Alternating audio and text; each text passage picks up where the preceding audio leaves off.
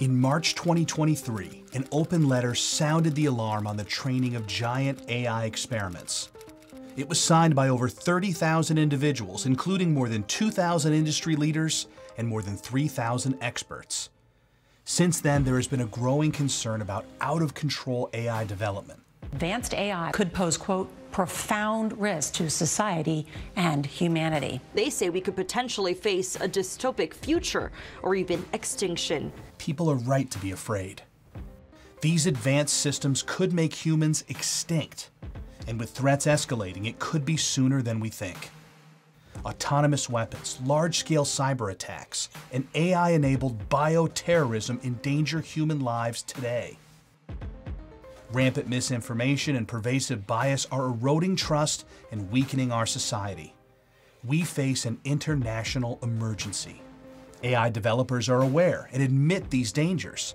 And we're, we're putting it out there before we actually know whether it's safe. And the bad case, and I think this is like important to say, is like lights out for all of us. A straightforward extrapolation of today's systems to those we expect to see in two to three years suggests a substantial risk that AI systems will be able to fill in all the missing pieces, enabling many more actors to carry out large scale biological attacks.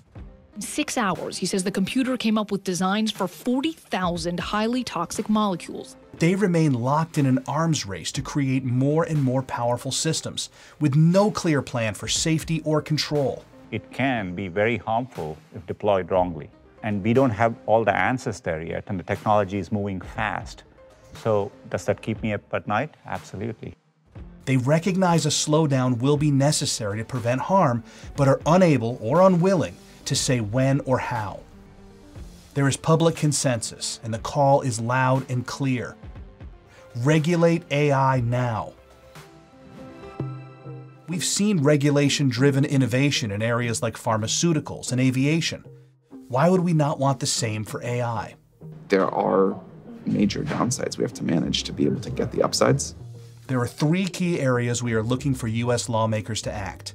One, immediately establish a registry of giant AI experiments maintained by a U.S. federal agency. Two, they must build a licensing system to make labs prove their systems are safe before deployment. Three, they must take steps to make sure developers are legally liable for the harms their products cause. Finally, we must not stop at home. This affects everyone, at the upcoming UK summit, every concerned nation must have a seat. We are looking to create an international, multi-stakeholder auditing agency. This kind of international cooperation has been possible in the past. We coordinated on cloning and we banned bioweapons. And now we can work together on AI.